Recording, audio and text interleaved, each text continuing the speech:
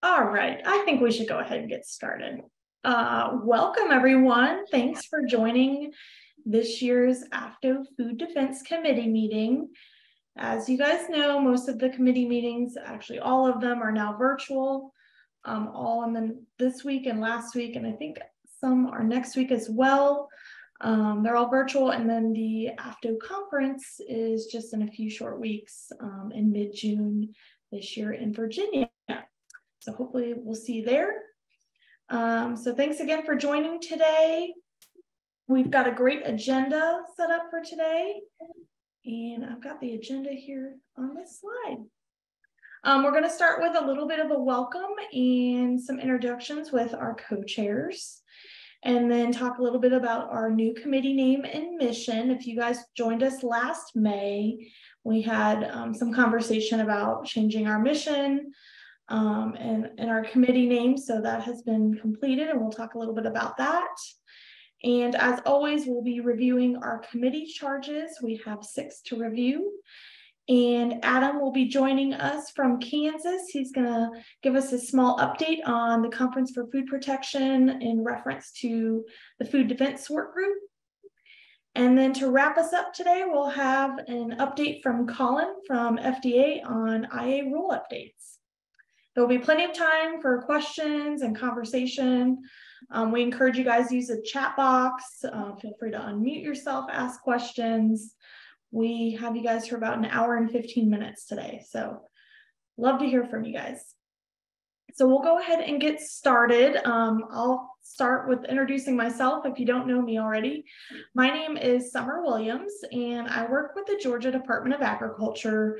I am the Rapid Response Team Program Manager and Recall Coordinator. I've been with GDA for about a year and a half, almost two years at this point. Um, previous to my work in Georgia, I worked for the Florida Department of Agriculture and Consumer Services um, as the emergency response coordinator with their food safety division um, since 2016. And prior to that, I worked in the law enforcement division. So I have a heavy background in emergency response. So food defense is near and dear to my heart. Um, I worked two Super Bowls while I was um, with Florida as well. So um, I'll go ahead and kick it off to my co-chair, Dr. Derek Payne. Good afternoon, everyone. I'm uh, Derek Payne. I am president of a company called the Food Safety Doctor LLC. LLC. Uh, we provide consulting for food safety and food defense to, to the industry. Uh, we also do training. I'm a lead instructor for an intentional adulteration vulnerability assessments. Uh, prior to becoming uh, part of the Food Safety Doctor LLC, I was senior manager of food safety for the Coca-Cola refreshments division for Coca-Cola here in the U.S. And then I was director of global quality and food safety for Tate and uh, for quite a number of, year, of years prior to that, and have developed food defense programs for both of those organizations. And I'm going to hand it off to Jennifer.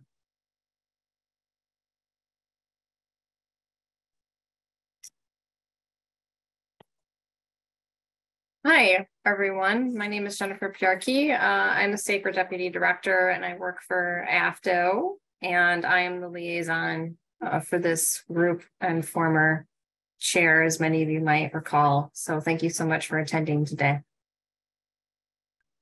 Thanks, Jenny. Yes, Jenny could not escape us. She has now become our AFDO liaison. Um, those of you may have remembered um, Dr. John Martin from DHS. He actually retired earlier this calendar year. Um, so he was our previous co-chair with our group. So now Dr. Payne has joined us and we're super excited about that. Um, so yeah, so let's go ahead and kick it off and talk a little bit about our committee name and mission. So as you guys probably remember, it used to be called the AFDO um, Food Protection and Defense Committee. And we went ahead and just dropped the uh, food protection part and just dropped it to food defense committee. So that has been approved. Um, as you guys may know, every time we have some sort of change um, that we come together with our committee and, and, vote on, we then take those changes and um, those proposals and um, go towards the AFDO board with what we are proposing to change, and they have to vote to approve them. So this uh, March, I believe we to the spring, spring spring board meeting, we took our proposed changes um, and those were approved. Um, so our committee name has officially been changed to the Food Defense Committee. And along with that, we, if you were on last year's meeting, we had a discussion about changing our mission. Um, this is our new mission. I'll read it out loud to educate, share, and make recommendations on food defense issues and non foodborne incidents impacting the food and ag sector. Um, and really, we're just trying to focus more on non foodborne incidents and more on just food defense specific issues. Um, we have several other committees within AFDO, and some of them had some overlap with us. And um, you know, the foodborne outbreak and emergency response committee is, is kind of like our sister committee. Um, so we kind of wanted to separate ourselves out from that. So this is what we agreed upon and it has been approved. So yay. All right, so we've got six committee charges. I'm going to go through each of those and talk a little bit about what's going on. Um, I will say probably the last time you guys joined us, we had seven and we actually did some editing to some of our committee charges um, and actually combined two into one. So now we're down to six. Um, the first charge is monitoring food and ag sector activities at DHS and Government Coordinating Council and Sector Coordinating Council, otherwise known as the GCC and SCC, and reporting any items impacting AFDO members to the board as encountered. Um, this is a committee charge that always stays with our group.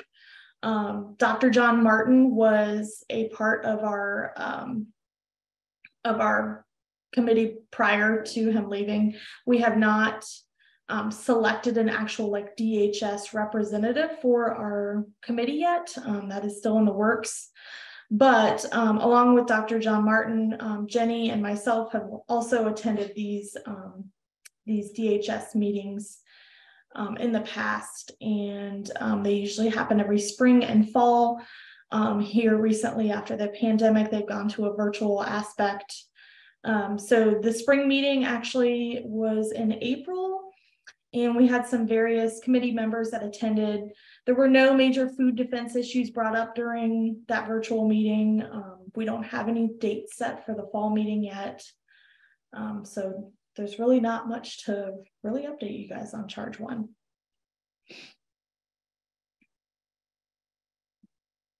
All right, charge two, developing a webinar for food defense issues.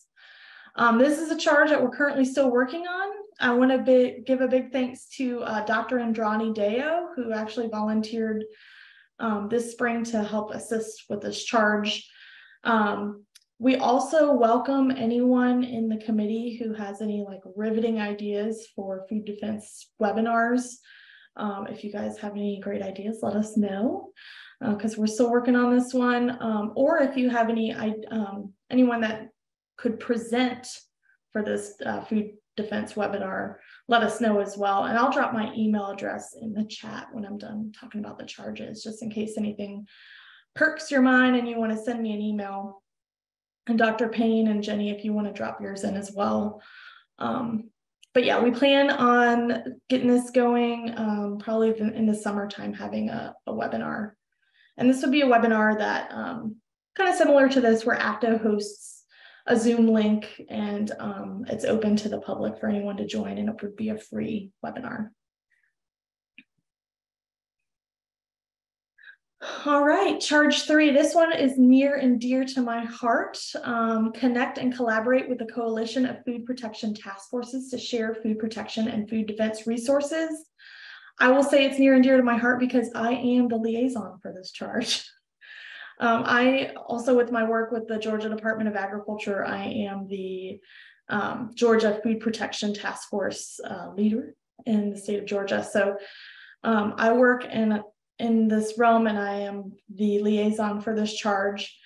Um, basically, what this is is I, I wanted to put this map on here so you guys could kind of get a visual of what the task force group is, just in case you're not aware. But um, the states that you see in green, they are federally funded through the FDA with a grant for task force. And what that is, is it's grant funding that um, assists the states with having um, a way to collaborate and communicate with industry partners. Um, so it gets the regulators and the industry partners and the academia partners all together within the state where they can sit down and meet and train together and have those conversations and communication um, portals together. So the Coalition of Food Protection Task Forces is actually just a group of all of the leaders from all of those green states working together to meet um, quarterly.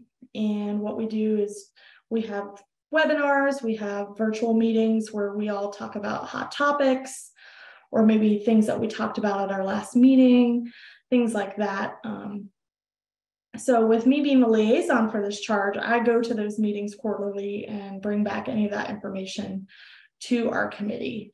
Um, I will say we are working to change the coalition up a little bit more. Um, and I actually, on the flip side, has have also been asked to be a peer leader for the coalition. So I'm working alongside um, other state task force leaders. So you've got Mark Buxton from Missouri, Lorinda from Alaska, Michelle Boyd from Iowa. And we're all working together um, alongside Graham Geeson from FDA and Randy Treadwell from AFDO. And we're coming up with ideas and topics that we think we can bring to our coalition group and share on a quarterly basis. Um, this was kind of a new idea within 2023 to have like a peer led group with some of these state partners and we actually just kicked off our first meeting. Um, it was last week or the week before. Um, for our quarterly meeting, we actually coordinated with AFDO and with FDA and CFSAN to have a sesame allergen labeling webinar um, for the coalition partners. It went really well. We were so happy to see it. Um, and it actually coincides with the new FDA's draft compliance policy guide for the major food allergen labeling and cross contact guidance that they just released. Um, and I will also drop a link to that just in case you guys are interested in hearing more about that. Um, the draft guidance that got released is actually open for comment for 60 days. I think it's open through um, maybe July 15th or so. Um, so they're open to taking any comments on the sesame allergen labeling and um, any comments can be uh, taken at regulations.gov. So I'll drop some more information in the chat box about that as well. So basically things like hot topics like the sesame allergen and, and things like that that would help our task forces around, around the nation.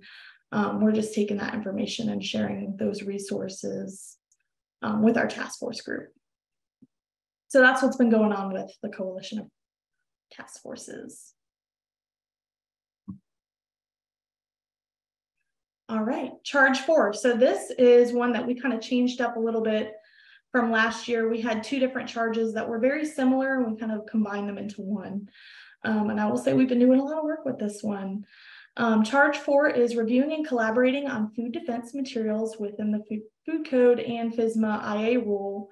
Um, we've got a working group of SMEs developing these resources. So we actually are really thankful. We got a great group of SMEs. I think we have about 10 in the group. Um, we've got folks from local, state, industry, academia. We've got someone from DHS in the group as well. I will say we are um, still looking for some folks from USDA and FDA. So if you are on this call and you're interested in joining and you work for FDA or USDA, or if you know someone that might be interested, let us know. Um, our plan is to start looking at FDA and USDA food defense materials. Um, we were potentially looking at maybe having like a one pager with resources to share from the both of the federal partners. Um, additionally, we talked about starting to look into topics like risk assessments and vulner vulnerability assessments um, with food defense as well. So um, we're getting this kicked off. We've met twice already. Uh, we wanted to uh, have this meeting and get any other ideas that you guys might have. I see the chat box is going. I'll have to read that in a little bit. Um, if you're interested in joining our SME group, let me know. we can add you in. You, it doesn't matter if you're if you're already a local state or industry or academia person, that's okay. We'll we'll take more. I'm super excited that we have a big group for this. Um, we plan on meeting again probably late June after AFDO.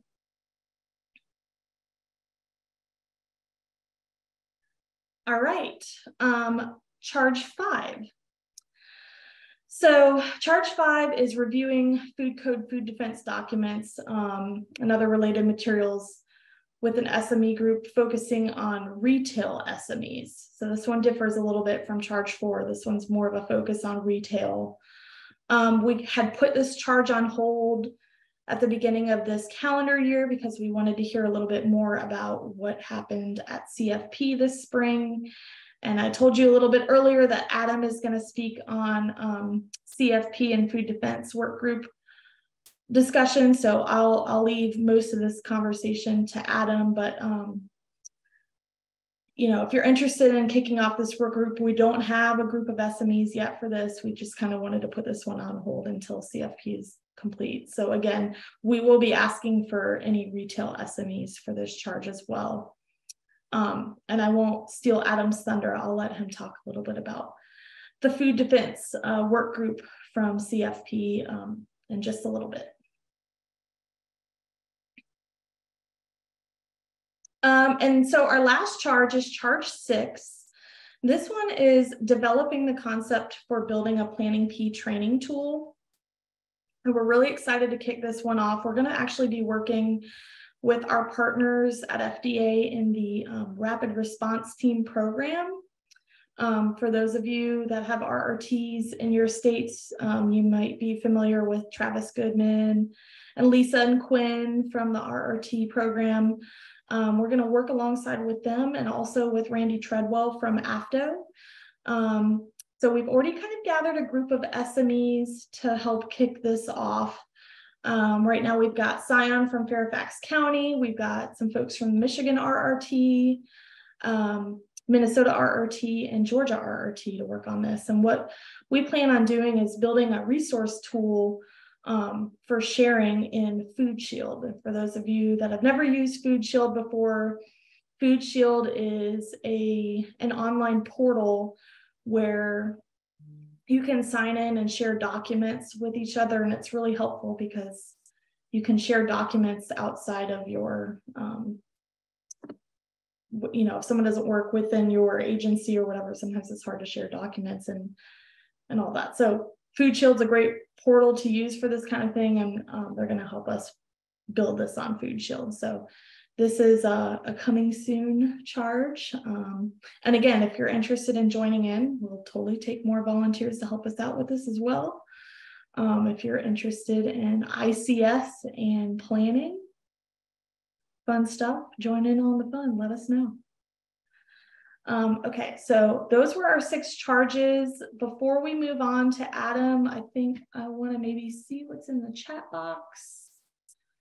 Um, thank you, Derek, for dropping your email. Awesome. Thank you, Indrani. Yes, if you're interested, Sally, if you're interested in participating in any of these groups, totally still room for fun. Um, I'll drop my email address in the chat box and you can um, shoot me an email with which groups you're interested in joining and we'll, we'll add you in. All right. Oh, the Planning P tool. Great question, Anna. So the Planning P, if, if anyone's familiar with um, the Incident Command System, ICS, it's a, a tool that is used during emergency response and it helps with making with organizing a disaster or any sort of emergency response. Um, it's a great management system for organizing the event and how you handle um, your operations sending your operations staff out into the field to handle whatever the response is um, planning for the next operational period um, logistics of getting whatever resources you need out in the field and making the whole event process a lot easier. So um, that is the incident command system. The planning P is actually um, it's literally a P that has a step by step process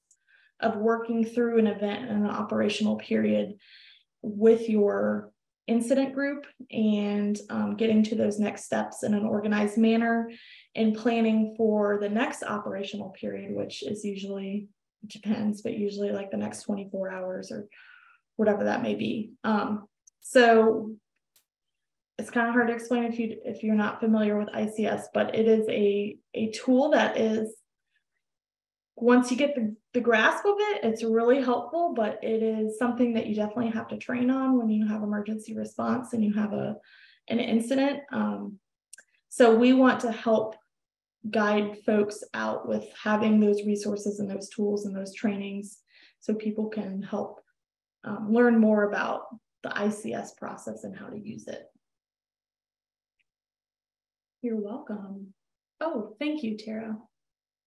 Yes, FEMA, FEMA, if you go to FEMA.gov, the National Incident Management System, NIMS, there's all kinds of free trainings on Incident Command System. Yes, we and Jorge, we will get you. Um, I'm, I'm going to drop my email address right now in the chat box. If you guys are interested in joining any of these groups, you just shoot us an email and we'll get you going. Awesome. Okay. I think I got the chat box. We can, we'll have more time too later on if you guys think of any more questions. Um, Summer, I think Indrani wanted to introduce uh, Stephen Wagner. Oh, okay, great. I'm sorry, I missed that. Thank you. Yes, go right ahead. Oh, hi. Uh, hi, everyone. Uh, uh, so after my last month's meeting with uh, Summer, uh, you know, I was inspired to go look for additional resources within our company. So my company is BASF, and as you know, we uh, we make food ingredients, but we also make chemicals.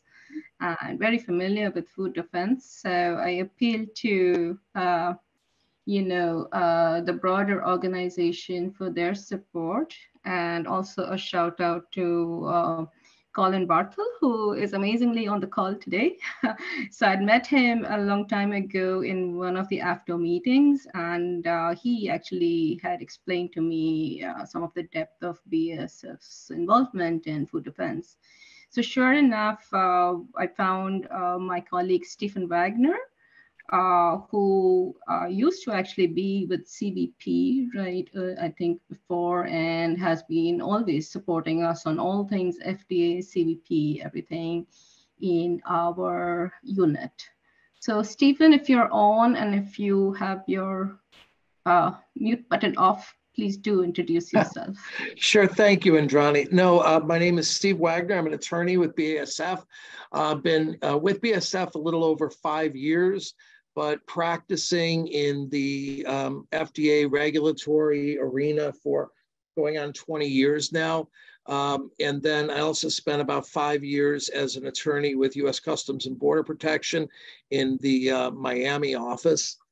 And uh, again, I just, I, my, my role is to provide regulatory support to, among other groups, the, uh, the, the, the food production team at BASF, and so I support them with the full range. And, you know, it includes everything from foods to uh, medical foods, dietary supplements, animal foods, et cetera. So it's the full range, flavors, uh, aromas, those sorts of ingredients. And uh, yeah, it's uh, it's it's a privilege to to be part of this group or to to join in this activity. Thank you. Awesome. Well, thank you for joining us. I appreciate hearing from you. All right. Well, I'm going to go ahead and kick it off to Adam. If there's no further questions, and I'll keep watching this chat box. Thanks, Summer. Appreciate the opportunity. Uh, just give a brief update on this. Uh, pretty excited about the the results. And so I'll just start with a little background.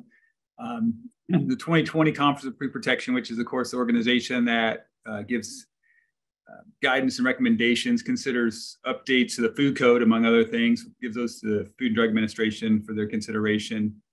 Um, in 2020, AFDO submitted an issue. Somebody named Stephen Mandernach was the issue per, uh, submitter and requested that the, the Conference Food Protection Food Defense Committee be reestablished with some charges. And that made it through that commit the uh, conference process and was established as a an ad hoc committee, as they call it, and it was ended up uh, coming out of the mix with four charges, and those charges were. Um.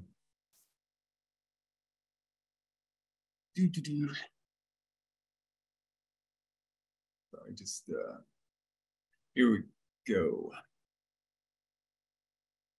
Hold up another link there. Okay, yeah, so the charges were identify current food defense references to be included in the appendix to section four of the model food code to make sure those were um, up to date for food defense references in the food code annex. Um, recommend whether an additional knowledge area under demonstration knowledge was uh, was appropriate relating to food defense report the committee's findings back to some of the formal stuff, the normal stuff you do with the committee, report it back to the bi next biennial meeting. And then to make sure that we were working closely with FDA food defense and emergency coordination staff and CFSAN. So those are the charts that came out. We had some, some nice organic offshoots of that. Uh, it was a really robust committee process, had a lot of great discussion.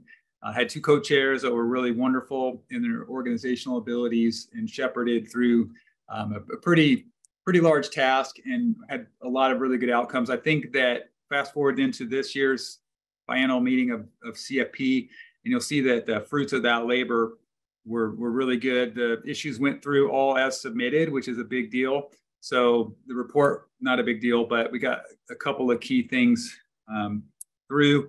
The main one was the addition of a couple of, uh, or rec recommending the FDA add a couple of um, items to um,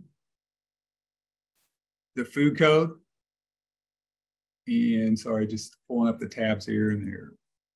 Was doing some more research and they got lost on me. Um, but yeah, the uh, issues did make it through as submitted. So we're going to add, requested that they add not only a demonstration of knowledge area, but also a responsibility of the person in charge to be able to describe food defense activities, and then also to add a definition of food defense into the food code. So um, the committee went a little bit beyond the initial letters of the, the, the charges, but I think it was in a good spirit of saying, well, if we're going to say yes, it's appropriate, we should present some options for consideration. And in fact, a lot of the committee members said we don't really feel that we can recommend whether it's appropriate or not if we don't have something to, to vote on. So that was just an organic offshoot. And then another um, nice development out of that committee work was a um, a job aid, and I'll pop that link in the chat. It's draft status right now, still officially, but um, not sure. Um, asked Dr. McSwain if he had any idea when it might happen to be uh, timeline for publishing onto the CFP website. And he said it should be, you know, relatively soon, but I'll go ahead and pop the, the draft of that guidance document in. So this is just an employee orientation checklist that was a work product of the committee. And so it's basically was saying, here's a, if you don't have anything and you just want to pick something up and to start with, this will be a nice little um, one page checklist that you could use for say a new employee orientation and just just get people an introduction to food defense and the things that are going to be important on a day-to-day basis of just keeping that in mind because there's continues to be ongoing issues with food defense of course and that's why one of the reasons we're all here. So that was nice. I think with that plus the recommendation for fda to consider the additions to the food code um, think those are really positive. So all in all, was a, good, a really good experience, really good outcome, a, a, good demonstration of, of collaboration amongst all the, the various stakeholders that have uh, vested interest in this arena. So um, I don't know if anybody has any questions, uh, but I'd be happy to try to answer those. Again, positive success. I'd say if you're thinking about moving ahead, a couple of items pop into my head. If there, you felt like there's anything that needed to, to extend in the food code again or some other area, maybe in program standards at the retail side, you know, you could, it would it'd probably take a, a re-request, a request to re reestablish the food defense committee over there. Um, but short of that, it might be worth taking that CFP committee roster and just seeing if there's any folks that might be good to cross link with from from our crew here at the AFDO side and just to maintain those relationships and maybe build some new ones. So relationships have shelf life, so it's good to to keep those fresh and then um, develop the new ones that come out and all that good stuff. So no questions or if there are, I'll be hanging out. Appreciate the opportunity. Thank you so much, Adam. Are you the actual work group lead? Um, and I forgive me, I've never been to CFP before, so I don't really know how it works. Is oh yeah, CFP is like nothing else. No, we had um, Albert Espinosa from HEB. Okay. Was one co-chair, and then Jennifer Bonsky from Michigan Department of Agriculture and Rural Development was another co-chair. So. Okay. The, uh, uh, my new, my favorite saying I heard years and years ago was "wheelbarrow full of frogs." I wish I could attribute that to someone, but they, they did a great job pushing that wheelbarrow and keeping everybody moving along. And um, it's just really robust discussion. Got so many good viewpoints and um, questions, concerns, practical challenges, and was able to come out with a, I think, a real positive outcome overall. Awesome, thank you. Any questions for Adam? So Adam, the, the CFP Food Defense Committee has sunsetted and has completed their work uh, as far as, you know, I guess the councils are concerned. Yes, this was it before council too, if you if you like to have this structure and understand that of, of CFP, but it, uh, this is a committee out of council too. And yeah, the, the charges that were presented were completed. And the recommendation of the committee was to uh, disband the committee, not reconvene it. So, you know, that's something that, that might be debatable. As the charges were presented, it seemed like that was um, the right decision at the time. But again, anything else or any other viewpoints, there, there could be a, a question to reestablish that. It would be a couple years before it would even get uh, considered at the next biennial meeting. So. Correct. Again, it was. So sorry, Adam. Like uh, Lauren is asking a question. It was it's council two um, that you guys presented to, correct? Yes, council two. Thanks so much for your work, Adam, on this and coming back to the committee and letting us know. I, I do think um, that list that offered was is a great one. And if you could uh, provide that list back to Summer, uh, who participated in the CFP food defense group, that would be really helpful. Yeah, I, I think John saw John Woody was on, and I uh, recall John was was uh, also a valuable contributor um, in that FDA perspective on on our meetings as well. So yeah, a good group that was convened for that. And I'll definitely pop that link in the chat, somewhere that has that roster. Thank you. Great, okay. All right, well, next up, We've got Colin from FDA. He's going to talk a little bit about the IA rule um, and some updates. I'm going to go ahead and stop sharing. So Colin, you can take over the PowerPoint. All right. Just want to do a quick sound check, make sure I'm coming through clear. Sounds great. Great. All right.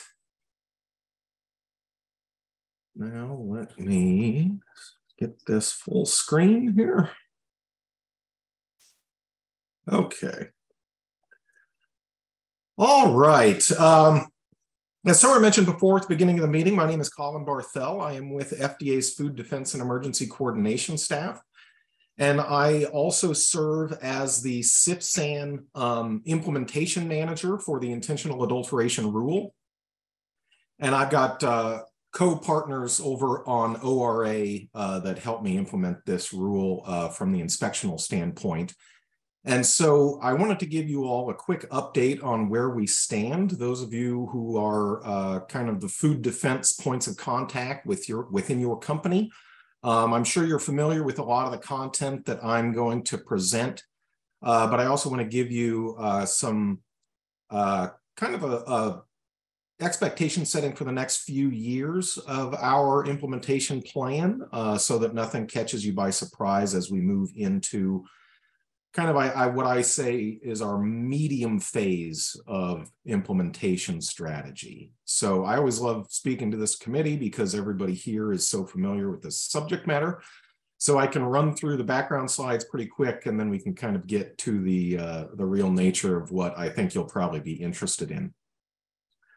But just in case, if there are any new members uh, to the committee or those who haven't been following kind of the food defense regulatory space very closely, uh, just like to level set everybody with what the intentional adulteration rule requires. You all know that it is one of the seven FSMA foundational rules. Uh, FDA was directed by Congress within FSMA to, to uh, pass regulation in the area of food defense. And so the intentional adulteration rule is the result of that rulemaking regulatory process. So the rule requires that firms covered by the rule uh, develop a written food defense plan. And that food defense plan needs to have these five critical components. Certainly, it can have uh, more content than what these minimum components are, but that plan needs to have these components in writing uh, within that plan. And so when we go out and conduct um, what we call food defense plan quick checks, which I'll talk about in just a moment, uh, we're looking to make sure that the plan has these five sections in it. And we're just determining whether the facility has uh, developed content in these five areas. Um, and in a little bit, I'll talk about what we're doing kind of to go beyond the quick checks in the future. Uh, the plan also requires uh, a reanalysis. So periodically, that plan needs to be reanalyzed. Um, it needs to be reanalyzed at a minimum of every three years. But if you've also made changes to your facility that would outdate the plan or make the plan inaccurate, such as if you put in a new processing line or something like that, you would need to conduct a reanalysis on any of the relevant parts of the plan impacted by that change. Uh, FDA can also require a reanalysis if we come into information uh, that we think is of sufficient importance that we would uh, flow down to industry and have them reanalyze their food defense plan based upon what that information might be. Um, so you can think of a scenario whereby if FDA came into information whereby uh, we thought that there was a threat to the food supply, we might uh, require firms, a subset of firms, or the entire industry to reanalyze their plan based upon this new information. So that's just a scenario that, that we have authority to require a reanalysis within. Also, records need to be maintained. This is, I'm sure, shocking to nobody. Um, management records like monitoring records uh, to make sure that mitigation strategies are being implemented. Those need to be maintained. Training records need to be maintained, et cetera. So pretty standard pace for any kind of regulatory system that FDA has. And then we also do have a training requirement um, for food defense awareness training, and then individuals that conduct certain responsibilities within the food defense system that that facility is implementing need to be qualified. And so they can be qualified through training. That's probably the most common way to become qualified, but they can also be qualified through job experience um, or other education. Um, Dr. Payne mentioned that he went through the IAVA course uh, for trainers. I actually was his instructor in that course. So that's a perfect example of uh, how someone who's conducting vulnerability assessments that go beyond the key activity type approach um, can be qualified to perform that vulnerability assessment. So that's a, a way to be qualified through that training. So now that we got through kind of the down and dirty background of what the IA rule is, um, I want to talk about our inspection system and where we stand today. Uh, we have what we call a two-level inspection approach. And I like to term this as broad but shallow, coupled with narrow and deep. The Food Defense Plan Quick Check is broad but shallow. It is conducted across the entirety of our coverage space. Um, so as any facility that is being inspected under their normal food safety programs that FDA regulates, they would have a food defense plan quick check conducted upon them.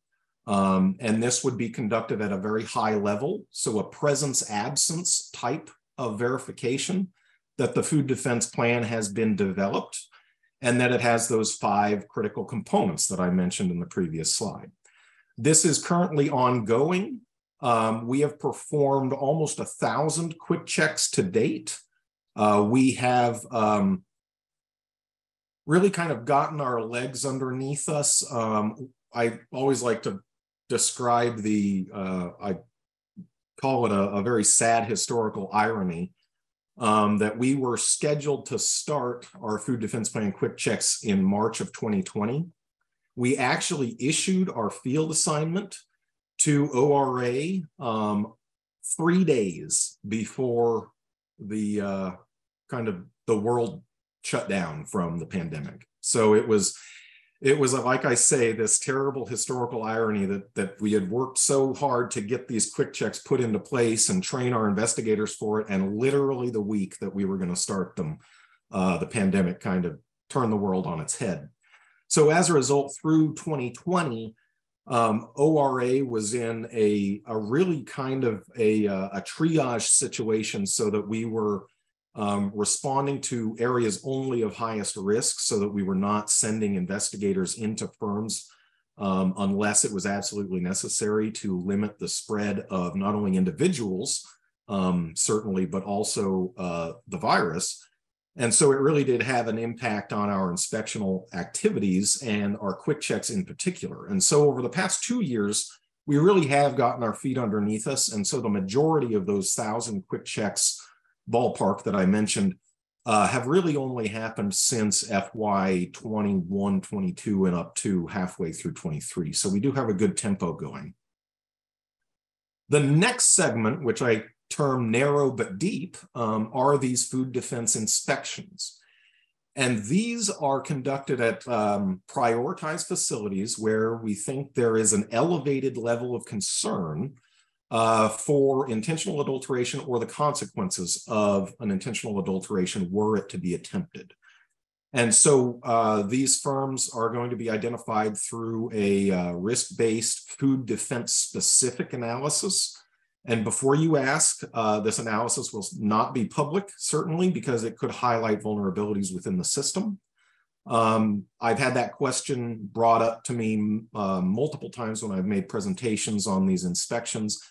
And I think people in this committee would understand that we can't publicize our, our methodology for identifying uh, firms that we think have a food defense uh, elevated concern. So I think I think that would probably be natural to folks on this call. These food defense inspections will be conducted by specially trained investigators. This is different than the Food Defense Plan Quick Check, which is going to be conducted by our entire human food uh, field staff that entire human food field staff has undergone training to conduct the quick checks, but it really doesn't get down into the level of detail needed to critically evaluate the food defense program at a facility, determine whether that vulnerability assessment is appropriate, whether mitigation strategies are suitable, et cetera. So the food defense inspections will be conducted by a specialized group of trained investigators that will undergo advanced food defense training and will work within a small group within ORA.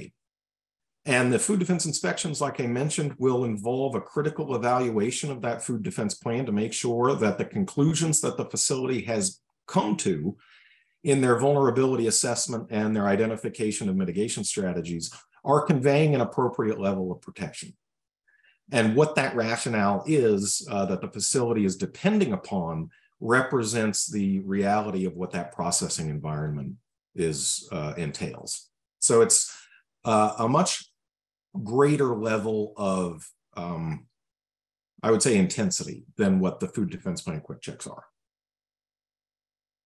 So I talked about this for a little bit. The Food Defense Plan Quick Check really looks at that one site or that one section of the IA rule that focuses on the contents of the food defense plan.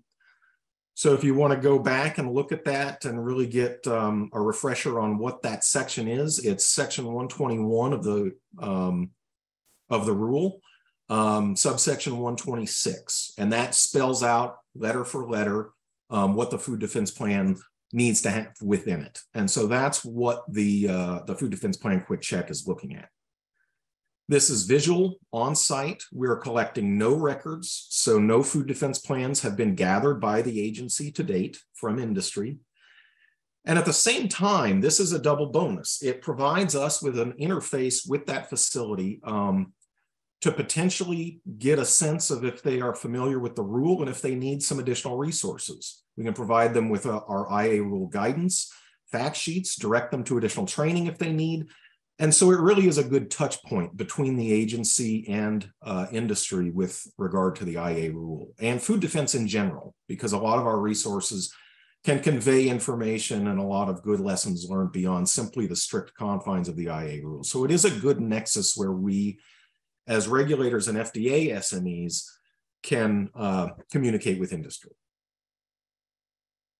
I do want to bring up uh, that we are working with our state partners. Um, right now, we are uh, having our state partners to help uh, establish our inventory and refine what the, uh, the number and type of covered firms are uh, within our domestic space, certainly. Um, and so our state contracts include a provision whereby uh, it asks our state partners to determine whether a firm is covered or not. And then um, we will go back and uh, add that into our uh, official establishment inventory that the agency holds so that we know which firms we need to include in our work planning in the future. Uh, no observations are included in our state contracted work, um, and the states are also able to provide training resources uh, to industry that they uh, interact with. So here's a quick uh, schedule of inspections before I get into a little bit more detail on our food defense inspections. We technically started food defense plan quick checks in March of 2020, but as I mentioned, there was a disruption there.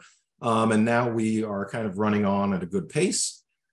Um, and this second bullet point is actually still our original plan and on original schedule. We had always planned on performing the quick checks for a number of years before we move into implementing that limited focused food defense inspection program.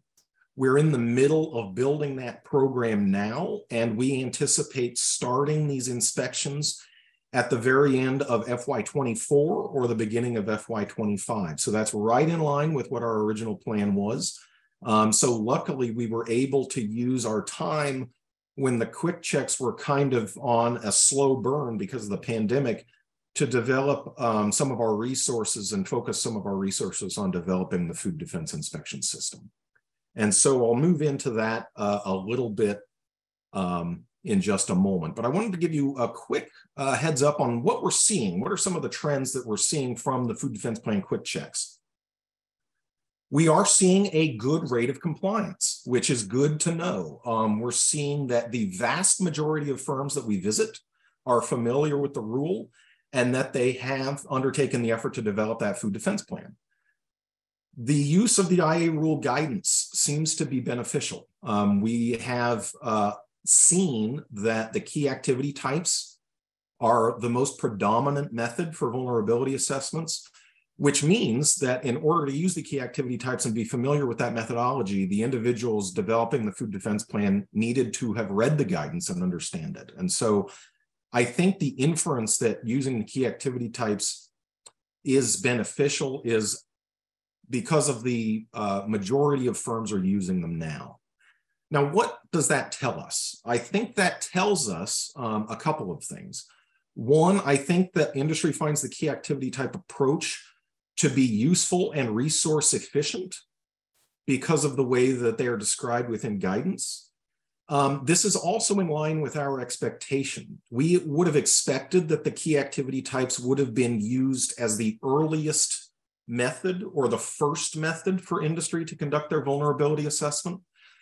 We expect that as firms go through their reanalysis portions, uh, as uh, you know, that three-year time frame kind of rolls over into the future, we expect that industry will generally move into more of a hybrid approach, coupling the key activity types with a more um, specialized analysis whereby they can determine um, a little bit more um, specificity with some of their potential actionable process steps by using this hybrid approach.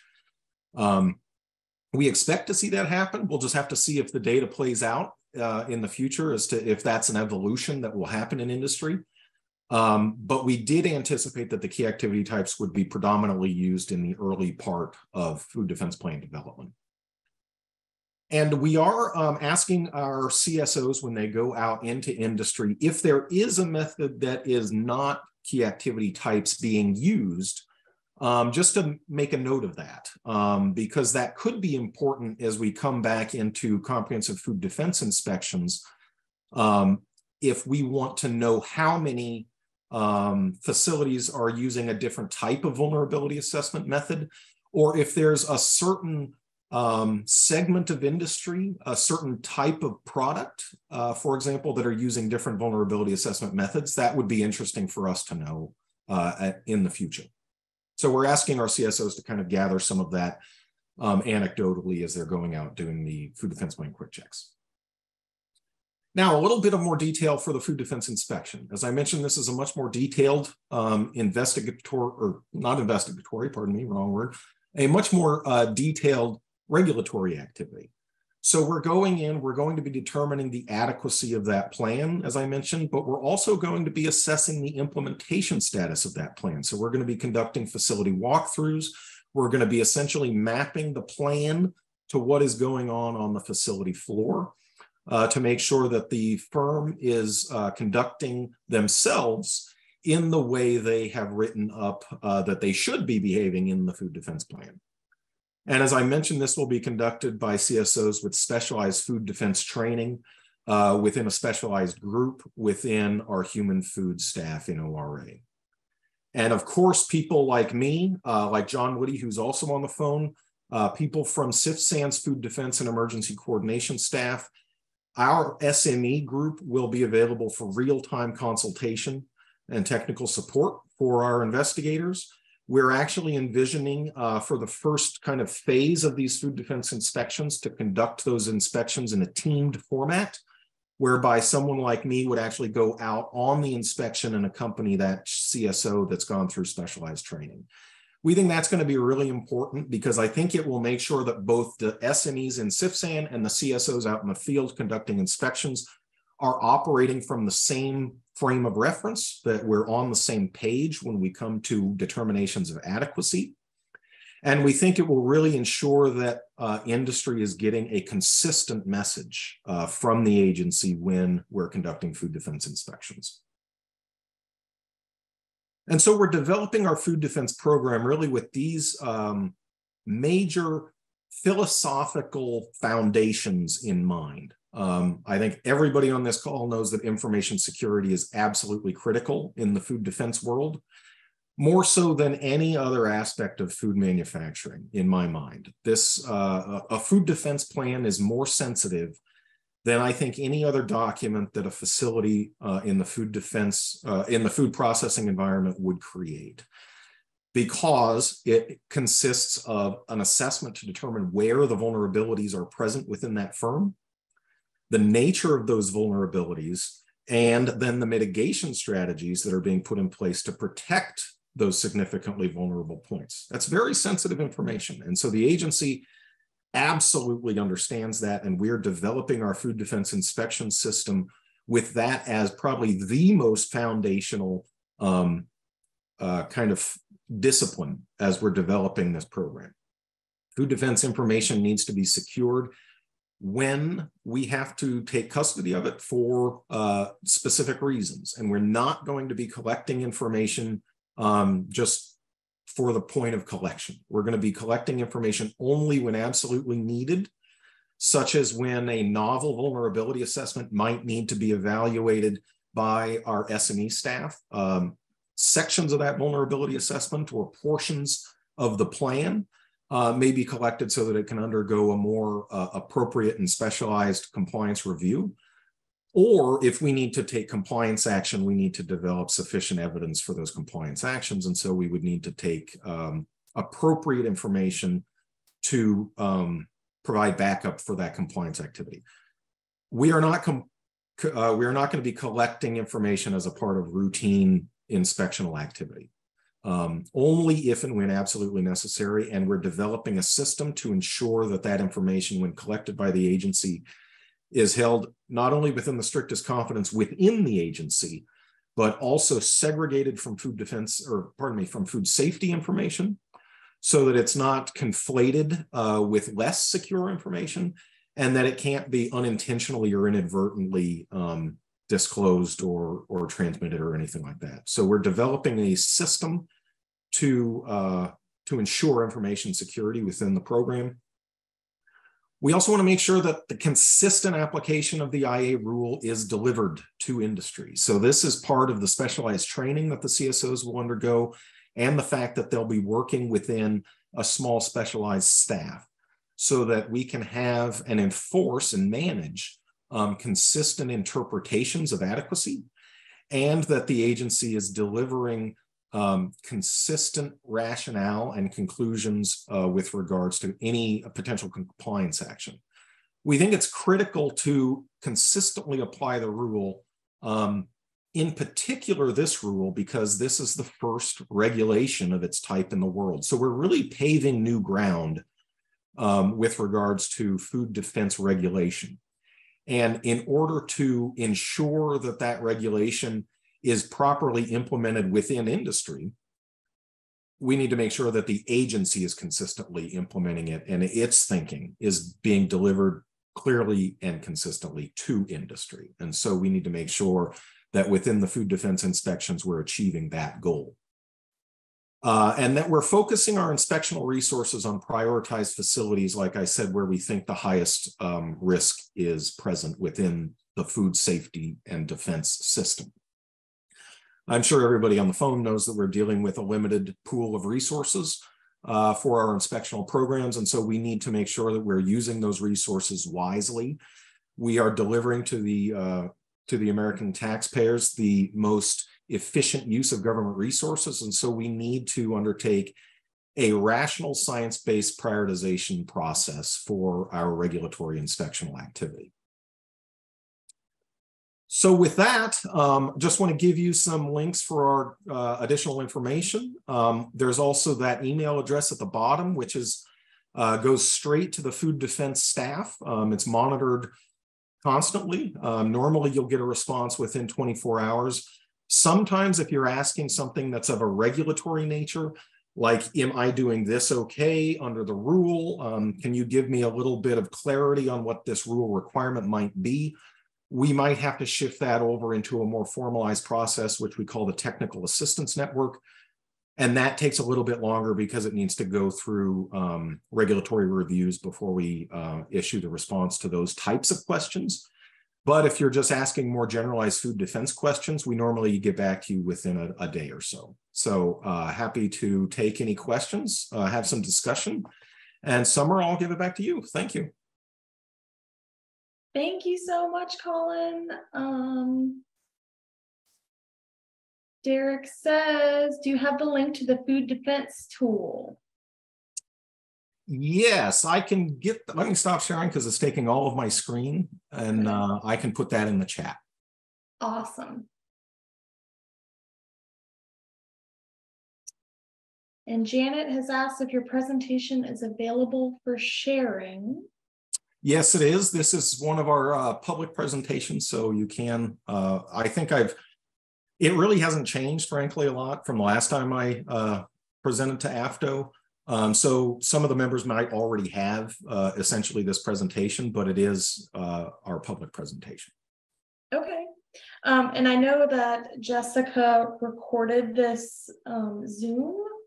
I know there's some folks that registered that weren't able to make it. So I think we'll be able to share the recording as well. Um, so yeah, we can short uh, we can share it for sure. I just don't know if it's going to be posted somewhere Okay. on the AFDO website. Um, I'm still working on that for you, but either way, for sure, I'll have a link that you can share it. Awesome. Um, yeah, so what I'll probably do is do a follow-up email after, um, you know, sometime this week. And we can share that recording out with everyone. Um, Minerva has Sent a CFSAN document. Yeah, Food Shield, we might be able to share in Food Shield. I think um not everyone has access to Food Shield though. If I, I don't know, I can't remember if industry partners can get into Food Shield. Um, I put the link there for the plan builder. thank you, thanks, awesome. We are seeing, actually, just to add on to that, we are seeing a significant utilization of the plan builder by industry, uh, which is uh, excellent news for us. Um, so one, uh, there's there's two excellent pieces of information for that. One, um, it shows us that industry feels that that tool is helpful uh, to organize their food defense plan and uh, capture the information in kind of a structured way. Um, the second thing is a little bit selfish from the agency standpoint, I guess I'll say, is that um, it helps to standardize the, the organization and formatting of food defense plans in a way within industry. And so when our investigators go out and conduct a food defense plan quick check, if they're familiar with the format, uh, because it's it's built within the food defense plan builder, that just kind of facilitates them going through that document a little bit easier. Um, it's kind of a, a, a, an unintended bonus of developing the plan builder, but it does help uh, make the quick check run a little bit more smoothly and more efficiently. Great. And Johnny says, how would food defense inspections be handled in foreign facilities supplying food to the US? And would it be part of standard ORA inspections outside of the US? Excellent question, And Indrani. Good to hear your voice uh, earlier. It was nice to uh, speak with you before. Um, I do want to highlight that we are conducting uh, quick checks in the foreign inspections uh, right now. Um, and so about a third of our quick checks um, have been done in a foreign facility. And so they are bound by the exact same requirements and the quick check is being uh, conducted in the exact same style. Uh, when that foreign facility comes up uh, under an inspection for a food safety program, uh, that foreign inspection includes a food defense plan quick check. And so it's the it's a completely level playing field uh, with regards to the way that we conduct the quick checks, both domestically and foreign.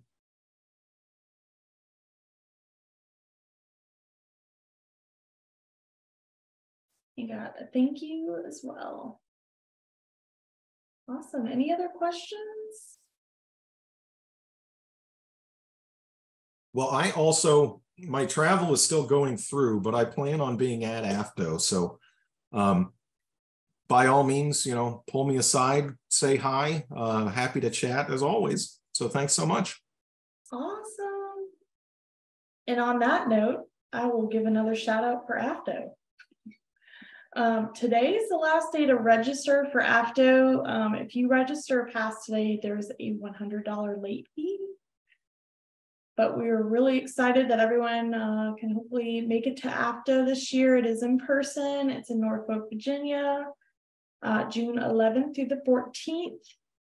Um, I will drop this link in the chat as well, just in case anyone wants to check out the agenda and go ahead and register. Um, get that in the chat. Awesome. Um, and that's pretty much all I had today. I want to give a big thank you to everyone who attended. Um, we had about 45 people at our top attendance. So, um, Dr. Payne, anything you want to add in? Uh, just to thank Colin for uh, participating and, and, and, accepting the invitation. The information was really good. One thing I wanted is actually a question to you, Colin.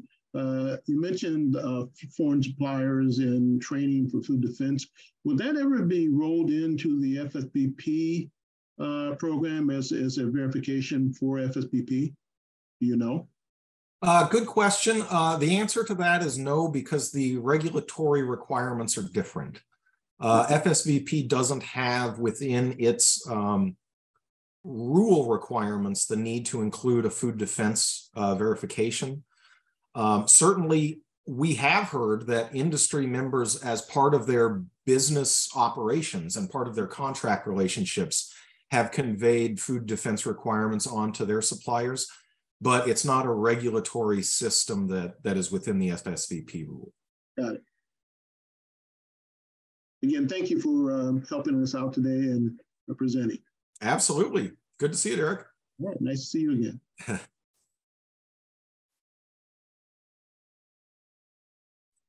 Back to you, Summer. All right. Well, big thank you again. Thanks to Adam as well and Colin for chatting with our group today. Um, I see I've already received some emails from some folks that are interested in joining our committee charges. So I will be in touch with you all. Um, I also saved the chat box. So um, I'll send a follow-up email to the group with sharing some of these links that Adam and Colin and everyone else shared in the in the chat with the group and our recording. And um, we look forward to, to speaking with you guys next time. Have an awesome day. Thank you, everyone. Thanks a lot, Summer. Thanks, Brian.